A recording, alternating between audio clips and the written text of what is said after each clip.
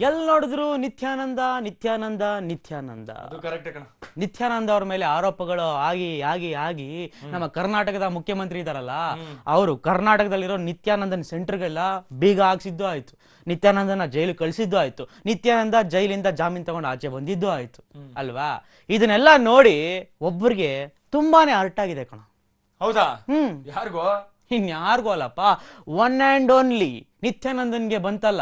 ರಾಹು ಕಾಲ ಅದಕ್ಕೆ ಕಾರಣ ಯಾರು ಹೇಳು ರಂಜಿತಾ. Film actor Ranjitha. ರಂಜಿತಾನ? ಹ್ಞೂ ಕಣೋ. ಏನ್ ಹೇಳ್ತಾ ಇದೀಯೋ? ನೋಡೋ ಈಗ ನಿತ್ಯಾನಂದ ಅವ್ರಿಗೆ ಫಾಲೋವರ್ಸ್ ಅಂದ್ರೆ ಹಿಂಬಾಲಕರು ಜಾಸ್ತಿ ಅಲ್ವಾ? ಇದನ್ನೆಲ್ಲ ನೋಡ್ತಾ ಇದ್ರೆ ಬೇರೆ ಜನಗಳಿಗೆ ಸಹಿಸ್ಕೊಳಕ್ ಆಗ್ತಿಲ್ಲ.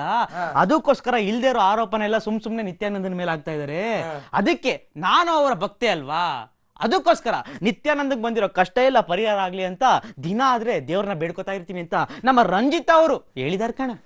ಓಕೆ ಓಕೆ ಸೊ ನಿತ್ಯಾನಂದ ಅವ್ರಿಗೆ ರಾಹುಕಾಲ ತಂದಂತಹ ರಂಜಿತಾ ಇವಾಗ ಅದೇ ನಿತ್ಯಾನಂದ ಅವ್ರಿಗೆ ಶುಕ್ರದಶೆ ಬರಲಿ ಅಂತ ಪ್ರಾರ್ಥಿಸ್ತಾ ಇದ್ದಾರೆ.